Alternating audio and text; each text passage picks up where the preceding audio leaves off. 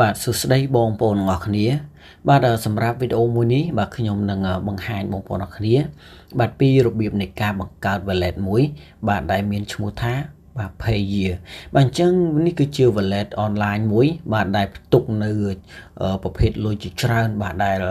វាអាចបំពេញតម្រូវការបងប្អូនអរគ្នា បាទសម្រាប់សម័យបច្ចុប្បន្ននេះ បាទដោយសារតែបច្ចុប្បន្ននេះគឺជាអឺគឺជាពេលវេលាដែលអាចឲ្យបងប្អូនអរគ្នានឹងបាទធ្វើការសាងប្រាក់ចំណូលបាន តាម wallet ទាំងអស់នេះហើយ បាទដែលមានដូចជា Payeer បាទឬក៏ PayPal ជាដើមអូខេអញ្ចឹងដោយសារតែ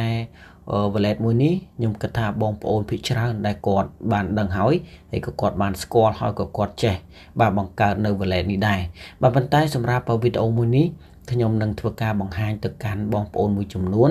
បាទដែលគាត់មិនទាន់បាទដែលគាត់មិនទាន់ចេះបង្កើតនៅ wallet នេះទេ បាទដោយសារតែបងប្អូនខ្លះគឺគាត់ទើបតែប្រឡូក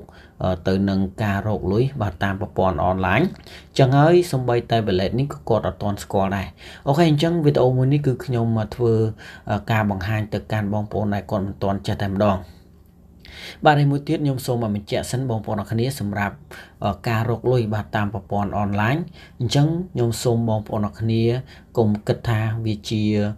កម្មវិធីរបស់ខ្មែរហើយវាគឺជាកម្មវិធីរបស់បរទេសបាទគឺសំខាន់បងប្អូនអរគ្នាត្រូវគិតថាកម្មវិធីទាំងអស់នោះនៅពេលដែលបងប្អូនអរគ្នាលេងហើយគឺបងប្អូនអរគ្នាអាចធ្វើការដកលុយបានដែរឬក៏អត់ហើយម្យ៉ាងវិញទៀតនៅពេលដែលដកលុយបានហើយចូលទៅក្នុង wallet ទាំងអស់នេះ តើយើងអាចដកលុយពី wallet ទាំងអស់នេះចូលទៅក្នុងស្រុកខ្មែរយកមកចាយបានដែរឬក៏អត់បាទនេះគឺជាអ្វីដែលបងប្អូនអរគ្នាត្រូវគិត បើសិនជាបងប្អូនអរគ្នាគិតថាចាំរកលុយតែជាមួយនឹងកម្មវិធីរបស់ខ្មែរអញ្ចឹងបងប្អូនអរគ្នាគឺពិបាកបន្តិចហើយបាទដោយសារតែកម្មវិធីរបស់ខ្មែរគឺវាមានតិចតួចមែនតែនដែលបងប្អូនអរគ្នាស្ទើរតែពិបាករកជាមួយនឹងវាអូខេឥឡូវកុំឲ្យខាតពេលយូរបាទខ្ញុំនឹងធ្វើការបង្ហាញទៅកាន់បងប្អូនអរគ្នាតែម្ដងថាតើ wallet មួយនេះយើងត្រូវបង្កើតវាតាមរបៀបណា okay អញ្ចឹង ខ្ញុំធ្វើការ log out វាចេញសិនបាទនេះដោយសារតែនេះគឺជាគណនីរបស់ខ្ញុំបាទនេះគឺជាគណនីរបស់ខ្ញុំហើយបងប្អូនគ្នាប្រហែលជាឃើញបាទនេះគឺជា wallet របស់វាគឺមានច្រើនមែនតើបាទគឺវាមានជាប្រភេទលុយលុយជាប្រភេទ Bitcoin Big A ហ្នឹងគឺវាមាននៅក្នុងនឹងទាំងអស់តែម្ដង okay អញ្ចឹងខ្ញុំនឹងធ្វើការ log សិនចឹង okay ហើយ wallet នេះបងប្អូនគ្នាក៏អាចធ្វើការដំឡើងតាមរយៈ Play Store ឬក៏ App Store បានដែរគ្រាន់តែបងប្អូនគ្នាចូលទៅក្នុង Play Store ហើយបងប្អូនគ្នា ចុចនៅលើប៊ូតុង search មកបាទបំពេញពាក្យថា Payeer មក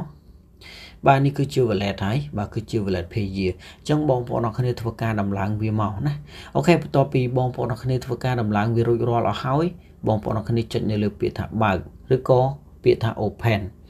អូខេនៅពេលដែលបងប្អូនអរគ្នាចុចមកគឺវានឹងនាំបងប្អូនអរគ្នានឹង បាទចូលមកក្នុងទម្រង់បែបនេះហើយអូខេបងប្អូនអរគ្នាសម្រាប់ wallet មួយនេះគឺមានលក្ខណៈងាយស្រួលមែនតើបាទសម្រាប់ការបង្កើតណាបាទគឺវាមានលក្ខណៈងាយស្រួលមែនតើអូខេដោយបងប្អូនអរគ្នាគ្រាន់តែចូលមកដល់ចំណុចនេះហើយបងប្អូនអរគ្នាគ្រាន់តែចុចនៅលើពាក្យថា sign up នៅខាងលើ បាទសម្រាប់ sign in នៅខាងក្រោមគឺជាការ sign in សម្រាប់បងប្អូនដែលគាត់មាន wallet រួចជាស្រេចចឹងណាបាទគឺគាត់ចុចនៅលើពាក្យថា log in បាទអញ្ចឹងសម្រាប់យើងបង្កើតថ្មីបងប្អូនគ្នាចុចនៅលើពាក្យថា sign up នឹងមកបាទហើយតែប៉ុណ្ណេះគឺដូចជាហើយអញ្ចឹងបងប្អូនគ្នាចុចនៅលើពាក្យថា agree មួយទៀតមកអូខេបាទឥឡូវបងប្អូនគ្នាបាទនេះគឺជាគណនីរបស់យើងមួយហើយនិយាយទៅគឺ wallet មួយនេះគឺស្រួលមែនតើបាទក្នុងការបង្កើតហើយនេះបងប្អូនគ្នានេះគឺជាលេខ account របស់យើង បាទគេហៅថាលេខគណនីណាបាទគឺនៅត្រង់ចំណុចនេះហើយបាទហើយមួយទៀត បាទនេះគឺជា password របស់យើងបាទ password របស់យើងហើយ password របស់យើងហ្នឹងគឺវាមានភាពរញ៉េរញ៉ៃបន្តិចប៉ុន្តែបងប្អូនអរគ្នាក៏អាចធ្វើការឆេងវាចេញបានដែរបាទអញ្ចឹងបើសិនជាបងប្អូនអរគ្នាភ្លេច password អញ្ចឹងបងប្អូនអរគ្នាត្រូវតែចាំលេខកូដខាងក្រោមនេះបាទនេះគឺជាលេខដែលអាចឲ្យបងប្អូនអរគ្នានឹងទាញយកនៅ password ដែលបងប្អូនអរគ្នាភ្លេចអូខេអញ្ចឹង ត្រង់ចំណុចនេះគឺបងប្អូនអរគ្នាត្រូវតែធ្វើការ screenshot វាណាត្រូវតែធ្វើការ screenshot វាទុកមួយមកបាទដើម្បីកុំឲ្យវាមានចង់និយាយថានៅពេលដែលយើងភ្លេចលេខកូដភ្លេចអីគឺយើងមាននេះឃើញទេមានអាលេខនេះដើម្បីបាទដើម្បីស្រង់យកលេខកូដរបស់យើងនឹងមកវិញអូខេឥឡូវបងប្អូនអរគ្នានៅពេលដែលបងប្អូនអរគ្នាស្រឡាញ់ wallet នឹងហើយបាទអញ្ចឹងបងប្អូនអរគ្នាត្រូវចុចនៅលើពាក្យថា confirm ខាងនេះokay បាទហើយមកដល់ចំណុចនេះគឺជាចំណុចមួយដែលឲ្យបងប្អូនអរគ្នាហ្នឹងត្រូវធ្វើការបំពេញបាទនៅលេខកូដចំនួន4ខ្ទង់បាទហើយចំនួន4ខ្ទង់គឺជាលេខកូដដែលបងប្អូនគ្នាត្រូវចាំខ្លួនឯងណា okay អញ្ចឹងខ្ញុំចុចមក okay អញ្ចឹងខ្ញុំចេះតែដាក់ទេយើងចុចមកបន្ទាប់មកយើងចុចលើពាក្យថា encrypt code អូខេបន្ទាប់មកបងប្អូនគ្នាចុចនៅត្រង់ចំណុចនឹង2ដងទៀតមកបាទយើងចុចលើពាក្យថា confirm code បាទជាការស្រេចអូខេត្រង់ចំណុចនេះគឺសម្រាប់ទូរស័ព្ទដៃបងប្អូនខ្លះដែលមាន scan ម្រាមដៃណាអញ្ចឹងបងប្អូនគ្នាអាចចុចនៅត្រង់ចំណុចនេះបាទបើសិនជាបងប្អូនអត់មានទេបងប្អូនគ្នាចុចនៅខាងក្រោមបាទអូខេយើងចុចត្រង់ចំណុចនេះមកហើយឥឡូវនេះគឺយើងនឹងទទួលបាន wallet មួយឯងបាទ wallet Payeer ហើយ wallet Payeer នេះគឺជា wallet ដែលមានសារៈសំខាន់ណាស់ ដូចខ្ញុំបានធ្វើការបង្ហាញទៅកាន់បងប្អូនគ្នាមិញមិញអញ្ចឹងបាទដោយសារតែ wallet នេះគឺវាមានផ្ទុកបាទនៅប្រភេទលុយជាច្រើន ដែលភាគច្រើនគឺបងប្អូនដែលគាត់រកលុយតាមអនឡាញហ្នឹងបាទគឺគាត់ស្គាល់ហើយបាទសម្រាប់ wallet នេះហើយ wallet នេះគឺវាសម្រាប់យើងដូចជាវិនិយោគជាមួយនឹង website ដែលខ្ញុំបានធ្វើការផុសបាទនៅថ្ងៃមុនអញ្ចឹងបាទគឺការវិនិយោគទុនជាមួយនឹង website អូខេអញ្ចឹងខ្ញុំសូមបង្ហាញទឹក បងប្អូនអរគ្នាមួយទៀតសិនបាទគឺកន្លែងដែលបងប្អូនអរគ្នានឹងត្រូវធ្វើការ change បាននៅ password អូខេអញ្ចឹងយើងចុចនៅត្រង់ចំណុច setting នៅខាងលើនេះបាទ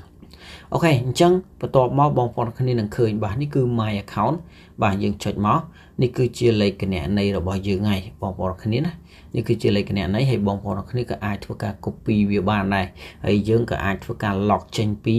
បាទលេខគណនីរបស់យើងនេះចេញបានដែរអូខេអញ្ចឹងខ្ញុំសូម back ថយក្រោយហើយនេះគឺជា security ទេ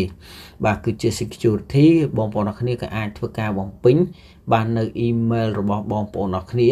ហើយក៏អាចបំពេញនៅលេខទូរស័ព្ទដៃដែរហើយ Telegram ហើយបងប្អូនគ្នាគឺអាចមើលបាទនៅតាមនេះបាទគឺនៅតាមនឹងបានអូខេអញ្ចឹងខ្ញុំសូម back ថយក្រោយហើយបងប្អូនអរគ្នានេះគឺខាងក្រោមនេះគឺជាចំណុច បាទដែលបងប្អូនអរគ្នាធ្វើអាចធ្វើការ change បាននៅ password បាទ change password នៅខាងលើនៅខាងក្រោមគឺ change pin code អូខេអញ្ចឹងយើងចុចមកបាទកន្លែង change password ហើយខាងលើខាងលើនេះណាគឺជាកន្លែងដែលយើងត្រូវធ្វើការបំពេញបាទលេខកូដរបស់យើងចាស់បាទលេខកូដរបស់យើងចាស់គឺជាលេខកូដដែលខ្ញុំបានបង្ហាញទៅកាន់បងប្អូនគ្នាមុននេះបន្តិចចឹងបាទគឺនៅចន្លោះកដានពូមិញហ្នឹងគឺវាមានលេខគណនីលេខកូដរបស់យើងហើយនឹងលេខ សម្រាប់ឲ្យយើងនឹងធ្វើការទាញយកលេខកូដរបស់យើងមកវិញអញ្ចឹងលេខដែលខ្ញុំដែលយើងត្រូវយកមកបំពេញត្រង់នេះហ្នឹងគឺជាលេខដែលនៅកតាលហើយអូខេអញ្ចឹងត្រង់នេះគឺជាលេខកូដចាស់របស់យើងហើយខាងក្រោមនេះគឺជាលេខកូដថ្មី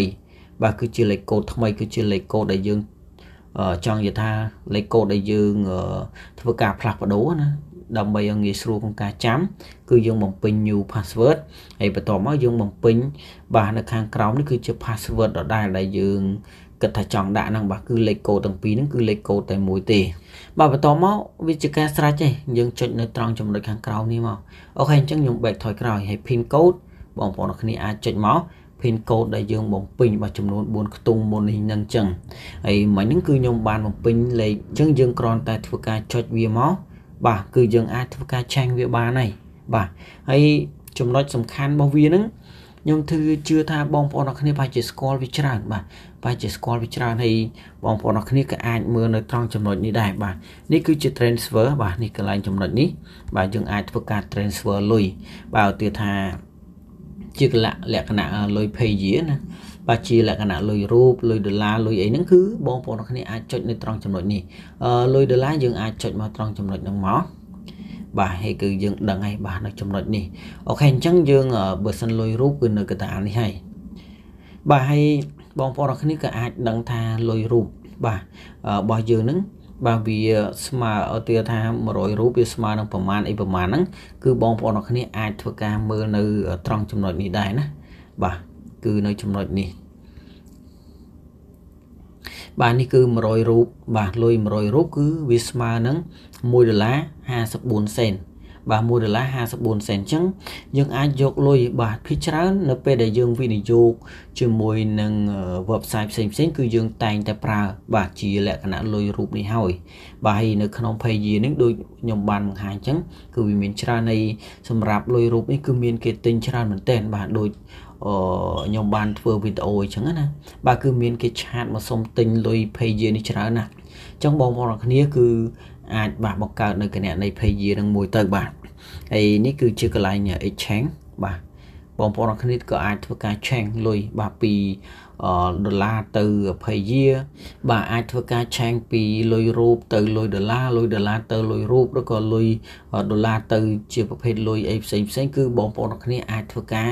បាទធ្វើការ exchange នៅត្រង់ចំណុចនេះហើយអញ្ចឹង wallet នេះដូចខ្ញុំនិយាយអញ្ចឹងគឺវាមានសារៈសំខាន់មែនតើយើងអាចធ្វើការ transfer លុយយើងអាចធ្វើការ exchange ពីលុយដុល្លារឬក៏លុយអីផ្សេងផ្សេងទៅជាលុយអីគឺយើងធ្វើការ transfer បាទនៅក្នុង wallet នេះផ្ទាល់តែម្ដង គឺយើងមិនចាំបាច់ទៅធ្វើការ exchange បាទនៅអឺ website ណាផ្សេងផ្សេងទេបាទហើយសម្រាប់លុយនៅក្នុងនេះក៏យើងអាចធ្វើការដកចេញយកមកចាយបានធម្មតាដូចជាលុយនៅក្នុង PayPal អញ្ចឹងបាទអញ្ចឹងបងប្អូនអរគ្នាបាទសម្រាប់វីដេអូមួយនេះខ្ញុំសូមបញ្ចប់ត្រឹមតែប៉ុណ្ណេះបាទបើសិនជាបងប្អូនអរគ្នានៅមានចម្ងល់ត្រង់ចំណុចណាបងប្អូនអរគ្នាក៏អាច comment សួរខ្ញុំនៅខាងក្រោមវីដេអូបានដែរបាទឬក៏អាចឆាតមកសួរខ្ញុំតាមរយៈបាទ Facebook បាទដែលខ្ញុំបានដាក់ link នៅខាងក្រោមវីដេអូនេះហើយអូខេអញ្ចឹងវីដេអូនេះសូមខ្ញុំសូមបញ្ចប់ត្រឹមតែប៉ុណ្ណេះសង្ឃឹមថាថ្ងៃក្រោយជួបគ្នានៅក្នុងវីដេអូដែលមានបាទសារៈសំខាន់បន្តទៀតបាទអូខេអញ្ចឹងជួបគ្នាវីដេអូក្រោយបាទ